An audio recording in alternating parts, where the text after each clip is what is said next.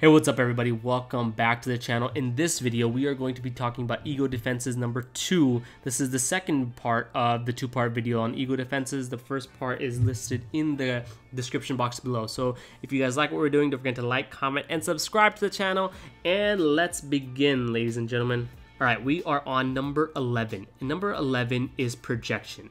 Projection is one of the immature defenses where someone attributes an unacceptable internal impulse to an external source. And this is very important to understand because a lot of times people get projection and displacement confused up. So let's talk about that really quickly. Projection is not the same as displacement, okay? In projection, you have an unacceptable internal impulse that you're taking out on an external source. In displacement, you have an external source that is stressing someone out, and that someone isn't taking out their stress on a neutral source. So that's the difference between projection. Projection is comes internally, displacement comes externally. And the classic example of projection would be a homosexual man who's accusing another man of liking him, even though the other man is actually heterosexual. The homosexual man can't accept the internal uh, decision or the internal feeling they have of being homosexual because maybe it's societal views, maybe it's cultural, what have you. They can't accept what's happening internally, so they actually project their feelings onto another person to say that they're homosexual, even though the other person is actually heterosexual. That's a very, very classic uh, scenario for projection that you should be aware of. All right, number 12, immature defense number 12 is rationalization.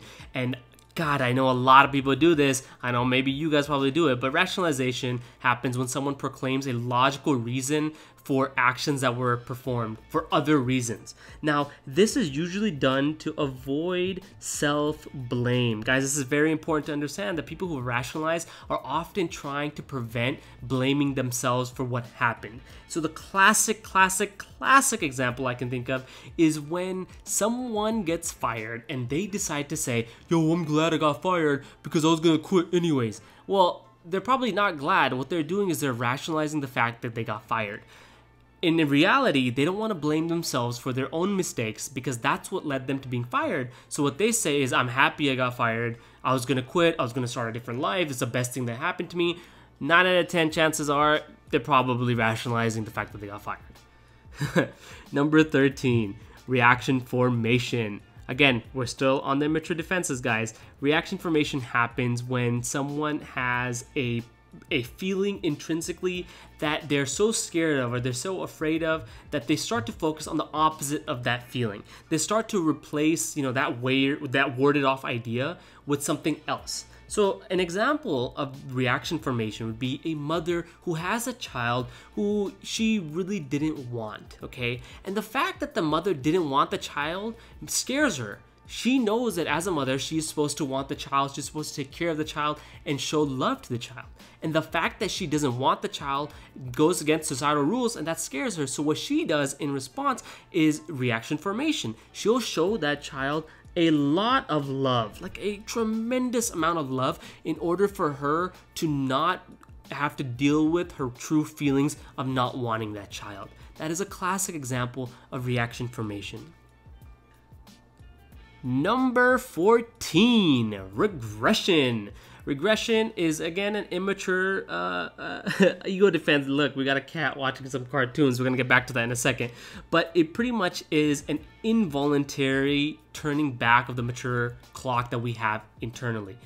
This often happens when uh, people are trying to go through a very stressful time many times people who are going through a stressful time they start to remember their you know times in earlier in life where they were younger and life wasn't as stressful. So they start to do those things they used to do back then. So maybe they start playing with play-doh they start playing with uh, some video games. One example i have is that an adult who starts watching cartoons during a stressful period in their life.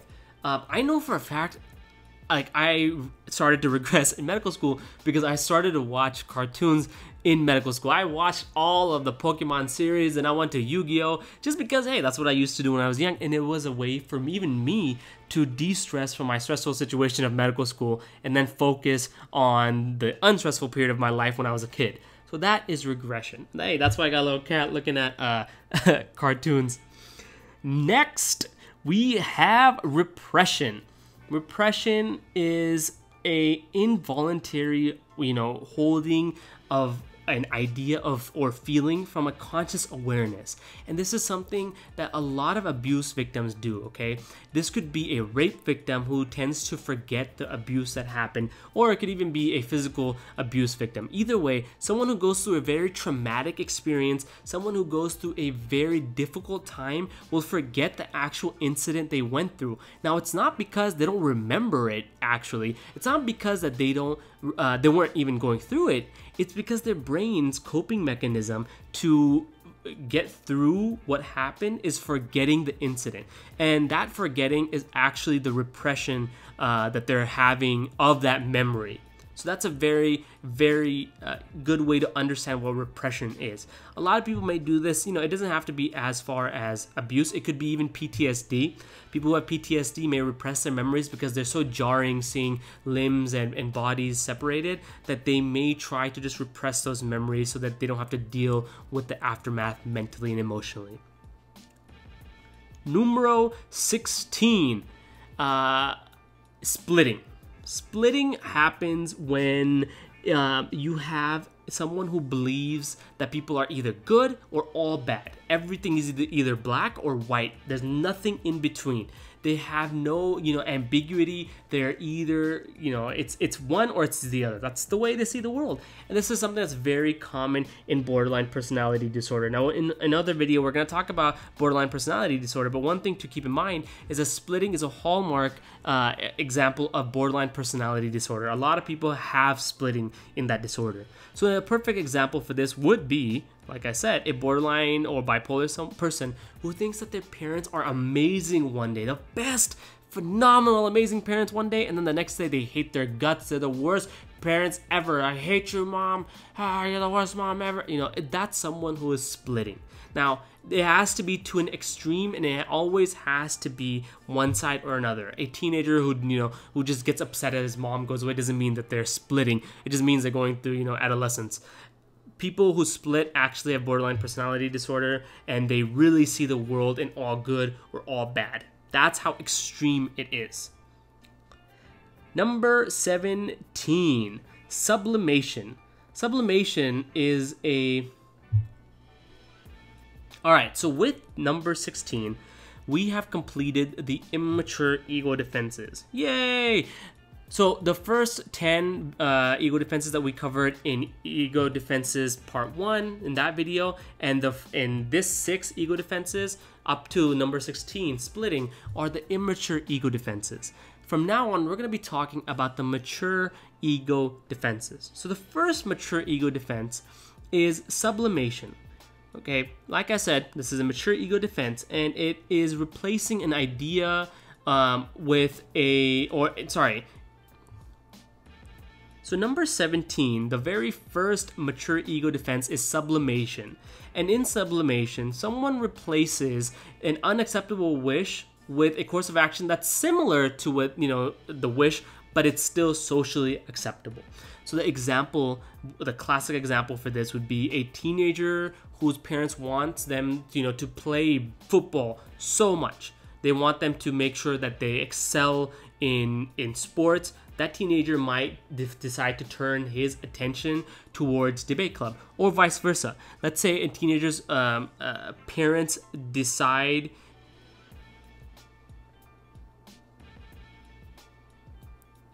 so let's talk or vice versa. Let's say a teenager decides to or vice versa. Let's say the teenager's parents want want that teenager or vice versa. Let's say the teenager's parents want that teenager to excel in school, go to Harvard, become a Harvard educated lawyer. Now that's a lot of stress. That's a lot of you know uh, pressure, and that's an unacceptable wish for that teenager. So that teenager may decide to actually channel all of his uh, energy into excelling in a in a sport. That is an example of sublimation. Number 18, altruism. This is a mature ego defense, and it's used to alleviate negative feelings via an unsolicited act of generosity. And this unsolicited act of generosity is something that gives that person gratification. It makes them feel better. And you know, if you guys watch Narcos, I have the perfect example, and that is Pablo fucking Escobar. Pablo Escobar was probably one of the best examples of altruism. He would donate generous and copious amounts of money to the poor, even though he was selling cocaine, he was killing people left and right, he was the head of a biggest cartel, the Sinaloa cartel. But he would still donate to the poor. And that unsolicited generosity, where people were not going to him to ask for money, he would just do it himself, allowed him to feel better about what he was doing. That's why a lot of people you know, would call him Saint Pablo, and that made him feel better. That's a form of altruism. Number 19 is suppression. And suppression is a mature ego defense where someone intentionally withholds an idea or feeling from a conscious awareness for a temporary period of time. Now, suppression, again, is very similar to repression, okay, with which is a uh, is a immature ego defense. But to be honest with you, it's not the same. So don't get suppression and repression mixed up. Repression is involuntarily holding that idea from the conscious awareness. Uh, suppression is co- intentionally holding. So this is a volunteer. This is a voluntary uh, action that they are doing. A voluntary ego defense. And the classic example for this would be a, a student who does not want to deal with the fact that she knows that her friends from college are going to drift away when they leave college. So, in order to not think about that, she just throws it to the back of her mind and just doesn't consider it until later on. She's deliberately pushing away her worries about losing touch with her friends. And that is an example of suppression. She, she is suppressing her worries. And now, finally, the last ego defense. If you guys have made it this far, congratulations. The last ego defense is humor. Uh, and humor me for a second, guys. This is a mature ego defense, and pretty much it's appreciating the amusing nature of an anxiety provoking or adverse situation. I don't think I need to explain this very much, but because we're doing a video, I might as well. A lot of times people use humor in a way as a coping mechanism, and I'm sure you have heard the the the most famous line ever: "Laughter is the best medicine." Well, yeah, it could be for you know stressful situations. I know I use humor a lot. I whenever there's a stressful situation that's happening, I try to you know just joke about it a little bit because it helps me decompress. So the perfect example would be my life right now. Uh, my life sucks because I'm in medical school. It's a very special situation, but I joke about my life sucking all the time because it allows me to deal with the reality of my life sucking. Instead of me just being brought down about, you know, the fact that my life sucks, I just joke around about it. Now, before we end this video, I want you guys to remember that mature uh, ego defenses can be remembered with the acronym SASH okay? And the way I like to think about it is when you graduate college, you should probably be mature and you're gonna be wearing a sash when you graduate college. So the S stands for sublimation, A for altruism, S for su suppression, and H for humor. Now with that being said, thank you so much for watching both of these videos. I know this is a doozy, it's a long one, but if you guys got through it, you know, shout out to you. And uh, yeah, now don't forget to like, comment, and subscribe to the channel. And when you subscribe, don't forget to hit that notification bell on the side so you can get notified every time we post. And with that being said, I'll see you guys back here real soon. Take it easy, fam.